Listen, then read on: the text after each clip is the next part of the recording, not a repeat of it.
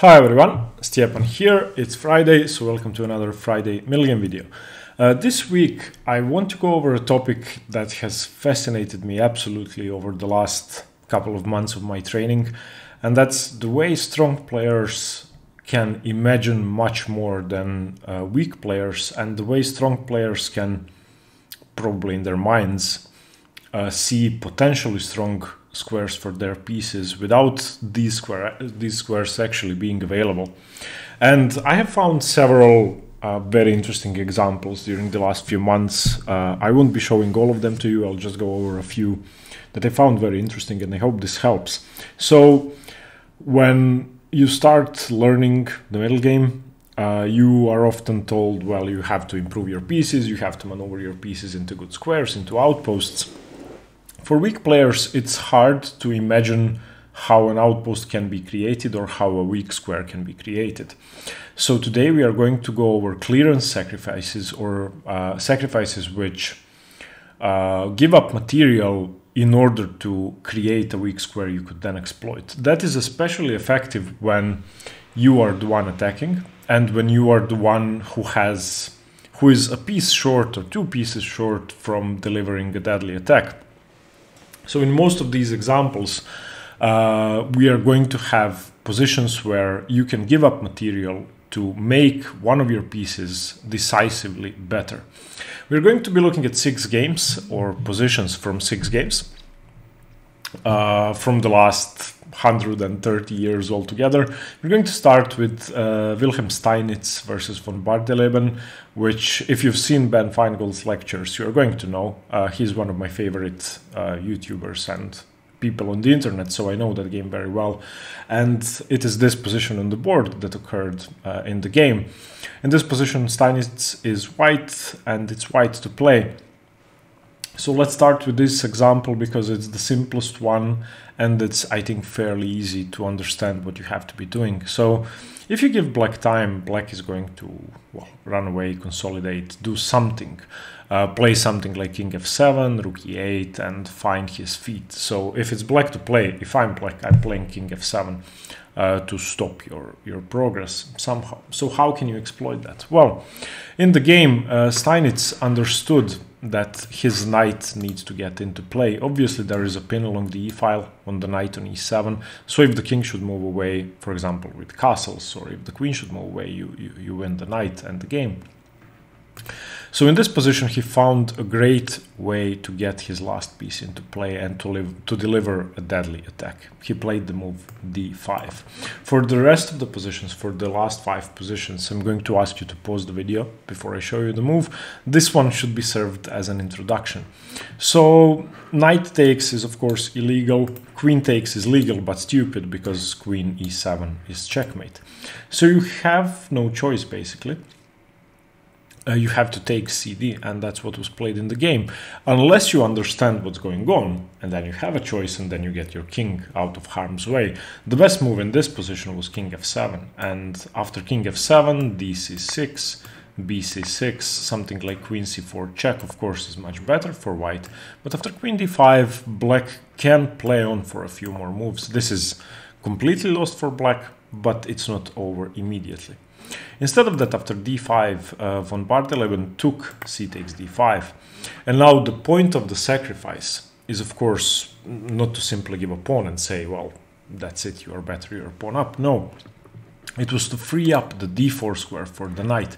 So in the original position, the knight doesn't really have too many squares to go to. It's very hard for the knight to get into play. Also, this rook is, well, sort of stuck out of the game. After the move d5, the d4 square all of a sudden becomes a very, very strong square for white's knight to utilize. Obviously, the knight could be, excuse me, targeting c6. The knight could be jumping into b5. The knight could be jumping into e uh, into f5 or into e6, and the knight all of a sudden becomes a mon monster for the price of one pawn. So after c takes d5, of course, knight to d4 played, and now king f7 came in the game, but now it's too little, too late. Knight e6, and this knight is now about to create a decisive attack in conjunction with the queen and the rook. So again, we, if we compare this position where the knight is on f3 and not really threatening the black king in any way to the position after knight d4, see uh, how the positioning of the knight was uh, was transformed and how the power of the knight has increased over the last two moves simply with a pawn sacrifice. So after knight d4, king f7, knight e6. Uh, if you don't know the game, I'm going to show you the last couple of moves.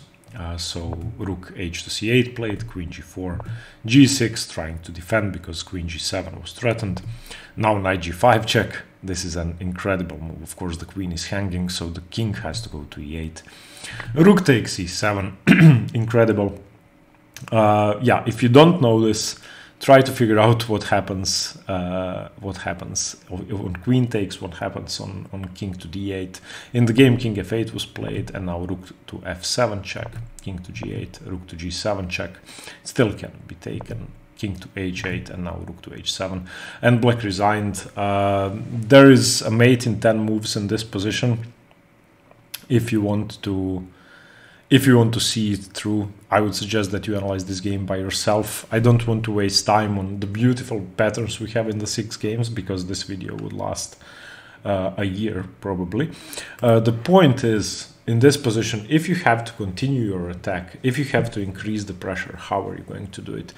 We have a, a clearance sacrifice with which you give up material to create squares for your pieces. d5, no good way to respond to that. cd5, knight d4, game over. The knight is jumping into e6 and the threats will become overwhelming. Okay, so this is a romantic example in which the player with black wasn't really that good. So let's look at the second example. This example is much harder and this I've done for my own tra training and then I've done it uh, in the lessons with uh, with my students. Uh, in this position, it's white to play. This is a game between two Serbian uh, grandmasters played in 2007. So let's try to follow through with the with the same uh, idea. So for the moment, the bishop on g5 is attacked twice. Uh, retreating the bishop would would give black precious time. Now, what do I mean by precious time? Let's say let's say white doesn't want to trade, white plays bishop to e3. Now what would black's plan be? Black doesn't have space, black's rooks are obviously inactive, black has much worse pieces, but this is a sort of Sveshnikov, Najdorf type position in which you, well, of course, there's a pawn on d5 instead of it being a free square, but you still have to, same as in the Sveshnikov, liberate your position with f5. So in this position, black wouldn't play knight f6, black would play knight d6. And now all of a sudden, this knight has huge influence in the center, and the move f5 is coming. And there is no really uh, there is no good way to defend against that. So if you give black time, he's going to untangle, consolidate, develop his pieces, and basically be equal. So in this position, uh, found a great way to to increase his advantage into into a winning advantage basically. After the next two moves, black is lost. If you want, you can pause the video uh, to find uh, what was played in the game. Okay, uh, so since your bishop is hanging and you don't have the ability to lose time, otherwise black will consolidate, you have to trade the bishops off. This part is easy, so bishop takes, queen takes, of course. Now, the hard part. Which of your pieces is not in the game and where would it like to be? I remember the last example. Uh, in this position, Ivanisevic played the remarkable d6, uh, a pawn that can be taken two different ways. Either way, uh, it's it's no good, and black basically has a losing position strategically after this move. The idea is, of course, by moving the pawn to d6, we are freeing up the d5 square for our knight. This is again a clearance sacrifice, which makes white's position so superior that black basically will never be able to develop freely. Now, pawn takes was played in the game, Let's look at what happens after knight takes. If knight takes d6, this is even worse than in the game. Knight d5, of course, now you can see the double attack on c7. For example, queen g5, which is one of the best moves. Rook takes c7 and not even material down. Black is completely busted. Just compare the quality of the two knights, compare the safety of the pawns in the position, and compare the king safety. f7 is a weakness, b7 is a weakness, e5 is a weakness, the d6 knight is loose, knight e7 is on the cards, knight f6 is on the cards, knight b6 as well, rook c8 doubling up, uh, the position is overwhelming. In the game after d6, c takes was played, and after knight d5, we have a similar type of position. Of course, here the queen is attacked, so queen to d8. We have a similar type of position where white is still a pawn down, black hasn't given the pawn back, allowing rook to c7 by keeping the knight on e8. He is guarding the c7 square. But in my opinion, that's that's even worse because these pieces are never going to develop now. This is just this is just busted. In the game continued g3. You can find the whole game on chessbomb.com. Uh, basically, white had no problems winning from this position. So coming back to the starting position, you have more space, you have better pieces, but you have to increase your advantage. And this is something I think strong players see easily. For us, weaker players, it's very hard to imagine our pieces becoming good if there are our own pawns or pieces in the way. Don't be afraid to give up material to make your pieces decisively better.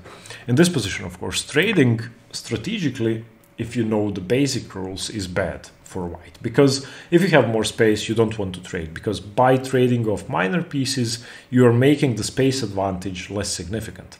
Whoever has more space wants more pieces on the board. Because more space means more maneuvering space for your pieces more activity for your pieces and of course less activity for the side that has no space.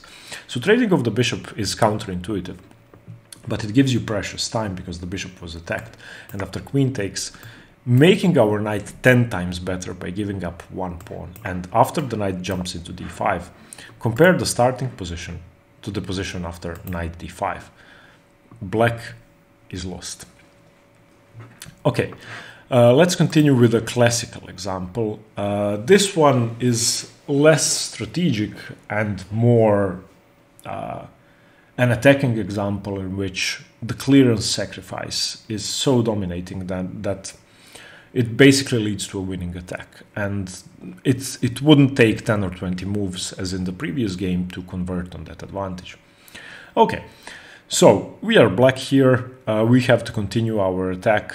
What do we do? Uh, in this position, if you want to pause the video, find the way to free up space for, for one of your pieces. Okay, uh, this one is simpler than the previous one. Uh, of course, the, the answer is c3. Now, this isn't even a pawn sacrifice. Of course, if, if the pawn is taken, then queen could take, but knight c4 would again be um, better. c3 simply frees up the c4 square. Uh, in this game, uh, Mikhail Botvinnik was playing black. Uh, Gavril Veresov was, was white, and he played rook to c1 uh, b takes c3 is just crushing knight c4. You don't even take with the queen. Something like king c2, knight a3, king d2, knight c4, check, king e2, and and this is going to be deadly soon enough. You can also, after king c2, continue with probably bishop to f uh, to f7 is a good move, forcing the knight away and simply reinforcing your position, uh, having influence on the e file as well, and grabbing the e3 pawn. So let's say the knight moves, you simply take here, or you can win the exchange, or you can you can do whatever you want. It's over. After pawn to c3, the game is over. As I said in the game, bc3 wasn't played, rook c1 was played, but now knight c4. And after rook takes c3, uh, of course, you see the fork on the king and the queen, but your queen is attacked as well. The difference is that you are going to take his queen with your knight, he is going to take your queen with his rook, and of course you win the exchange in the process, therefore an easily convertible material advantage. In the game, rook c3 followed, knight d2 check, king c2, knight f3, bishop f3, and now bishop to f7 attacking the knight knight h4, rook takes c3, picking up a pawn. If you take the rook, then of course you, you don't win my queen, so you have to take the queen. King takes, and after king d2, rook d2 e8. Black is an exchange up and clearly winning. Uh, no, no way for white to save the position. So again, coming back to the original position, all it took was a sacrifice of one pawn, in this case not even a sacrifice, but the clearance of your own material to make your pieces much, much better. Okay, now we are going to have a look at two complicated examples. The first three examples were, were quite simple. Uh, now we are moving on to a bit harder stuff. Uh, this is the game David Bronstein versus Arpad Vajda, played in the match between Hungary and, or I'm sorry, played in the match between Budapest and Moscow uh, in 1949.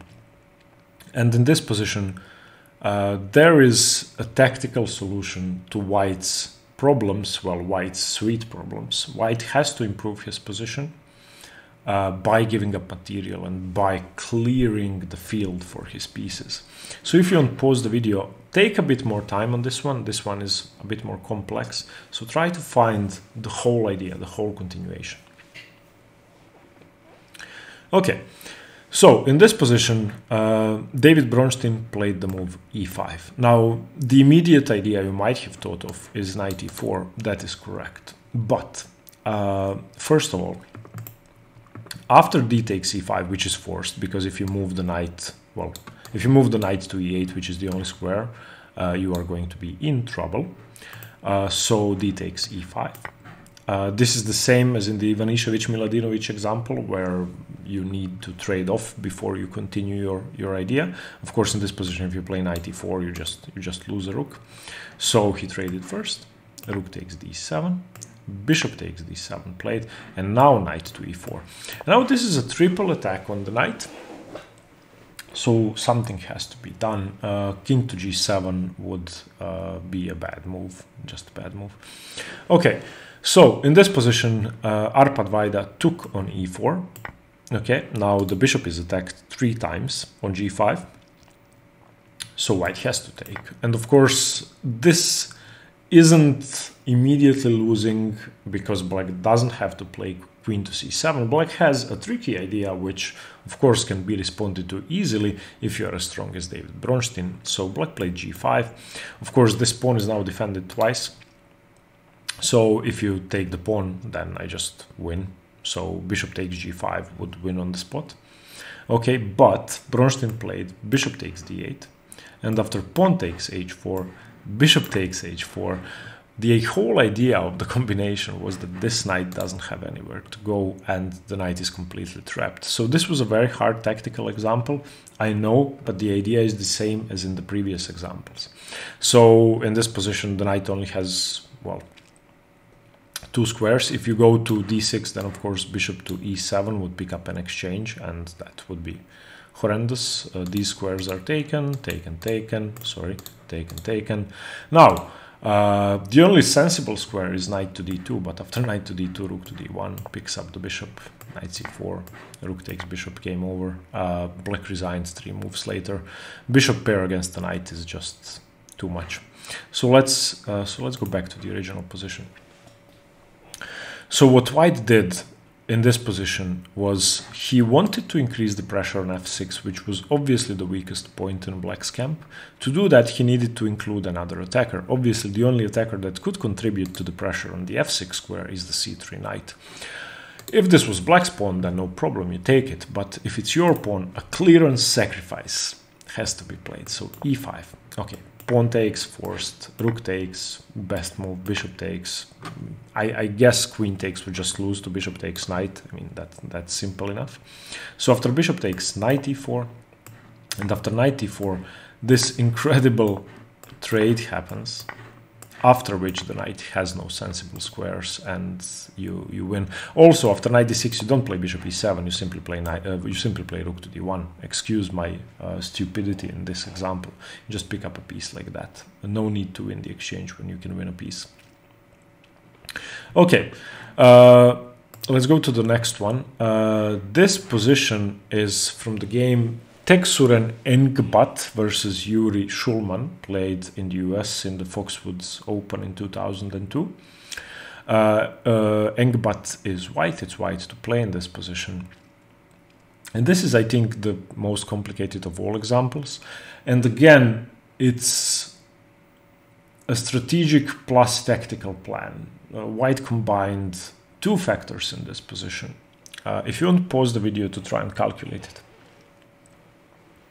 Okay, so in this position, you have to ask yourself what's the biggest weakness in the black camp? What's the biggest weakness in black's position after you find it finding the right move becomes almost automatic? Uh, the biggest weakness in black's position is the g6 square which uh, in conjunction with the strong white pieces could be deadly could be terminal could lead to mate in a couple of moves so the first question is how do I increase the pressure on that square? The second question is what do I want to do with my minor pieces which are not playing at all? Once you see that your minor pieces can get into the game via the e4 square, then of course the move e5 becomes very, very clear. Okay, in the game King G7 was played, which I think is the best try. Let's just uh, try to see what happens on f takes and d takes. If f takes, then of course queen takes G6, and after king to H8, rook H6, knight H6, queen H6, king G8, queen G6, king H8, rook H1, game over. If after E5, D5, then same thing, queen G6 and and over, same variation, doesn't really matter. If after e5 knight e5 is played, then the bishop is hanging, so okay, rook takes bishop. If f takes g3, then black loses by force again, because we can play rook takes g6, and if you take with the knight, same idea, knight takes, queen takes, king h8, rook h1, checkmate. And after rook takes g6, uh, king to f7, we just go rook to h6, uh, and yeah, we continue putting pressure on his position. We now have this lovely square for our pieces. We can get our other rook into play. We can play queen to h7, which is most decisive, and basically game over. So after e5 in the game, king g7 was played. Of course, he had to defend the g6 square. But now, ef6, queen f6 and knight e4 we just got our knight into, into the position. And now this knight is going to be um, the factor that tips the scales in white's favor in the attack. And now the, the attack becomes simply overwhelming. Uh, queen e7 was played the queen was attacked. Bishop h4 attacking the queen again. G5 was tried but now if you want to pause the video again. A nice little tactical solution. Okay bishop takes g5 and after bishop takes g5 rook h7 played again exploiting the queen's diagonal. King h7 knight g5 check. King h6 queen h7 check. A beautiful combination. Uh, king takes g5 queen g7 check. King h4 queen h7 check. King g5 a bit of repetition. Rook h1 check. And you can see well, we don't have to go any further. I mean this is bishop knight rook queen and pawn versus king uh, obviously these pieces are not playing at all i found this absolutely remarkable this this attacking idea of course it's complicated if you don't know what to look for there are two things you have to look for in this position a uh, how do I exploit the weakest point in black's position? B, how do I get my inert pieces into play? I need to create a square for them. Therefore, e5 is ticks bo both boxes and wins the position for white. Okay, the final example is tricky. Not because it's hard to find the idea, but because the idea doesn't work. And this is why I chose it. Uh, this example I found in my favorite tactics book uh, by uh, Lisitsyn, uh, Georgi Mikhailovich Lisitsyn. The book was published in Yugoslavia in 1985 or 7, something like that. And when I started playing chess four years ago, um, yeah, uh, most people I met used this book for tactics training. I'm not sure internet tactics were a big thing at the time in Croatia. They probably were, but I just didn't know about them. So basically, this was the tactics book. Uh, there are three books in the series. Uh, it's called Strategy and Tactics, Strategia y Tactica. Uh, book one is for about 1800 players, book two is for about 2000 rated players, and book three is, is for about 21 2200. This is from book two, and this example I solved successfully, or so I thought. Uh, and recently, just two weeks ago, I gave it uh, as, as a problem to someone, and we did it during the lesson. And when we when we finished the task, I was happy because, yeah, we found the correct solution, blah, blah, blah. uh, then I decided to use the game for this lesson, for this video, I'm sorry. And this is the first time I checked uh, the variations which I had calculated two years ago with an engine, and they were completely wrong. So that goes to show that books that were written 30, 40 years ago might not be absolutely correct. Still, it's hard to see why it doesn't work.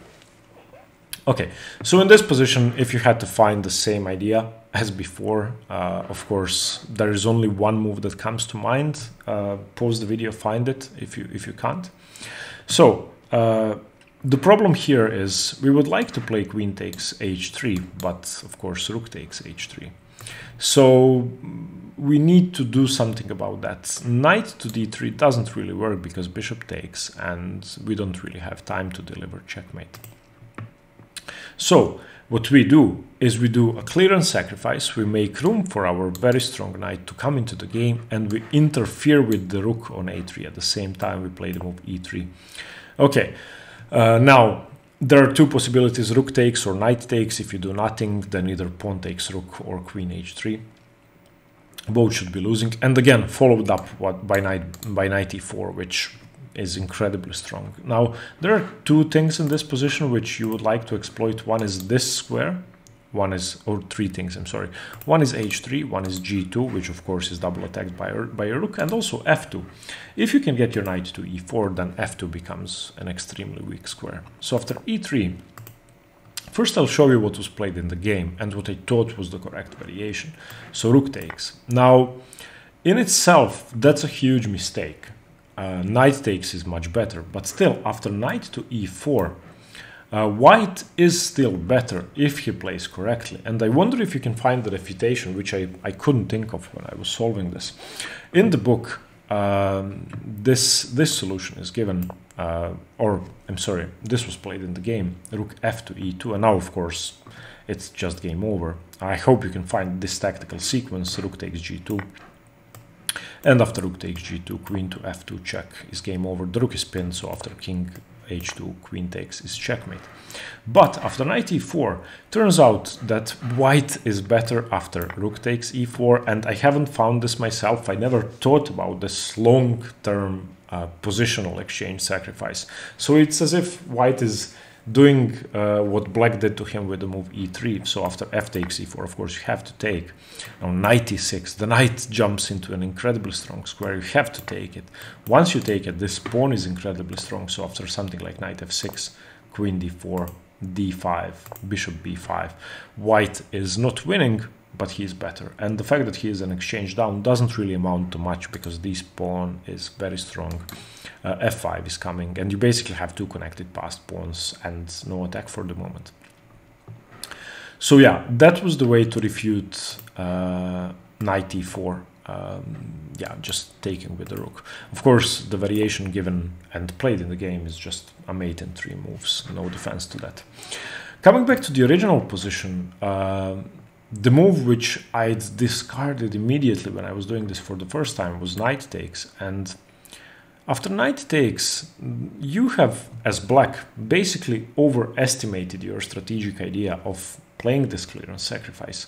Now, of course, you don't continue with knight e4 here. You want to take on h3 and threaten mate.